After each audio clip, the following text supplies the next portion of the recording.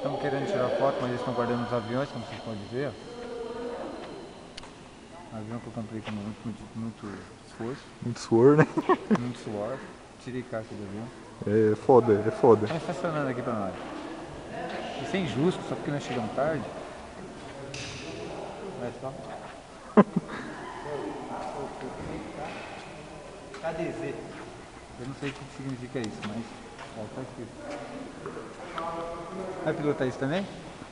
Rapaz, queria, até que queria, né? Mas estão guardando os aviões Tem que ter carta E. Tem que ter carta letra Z pra você dirigir um, um negócio desse aqui. Cara, Rapaz, olha. Tá lá em cima, hein? Deve dar medo, hein? vixe. Olha.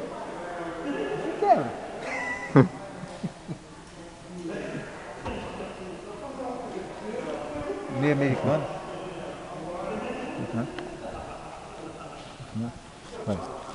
Então, chegamos hoje aqui, ó, pra dar umas voltas de avião, mas fechamos meio tarde. Você acha certo? Guardou os aviões. E agora? Estamos aqui agora. Você ficou na mão? Ficamos na mão, só observando. Você não vai dar nem uma voltinha nessa máquina? Fazer o quê, né? Chegamos tarde, agora é ir embora, assistir o clássico do Corinthians e Santos e ver que bicho vai dar. Dá tchau pro avião.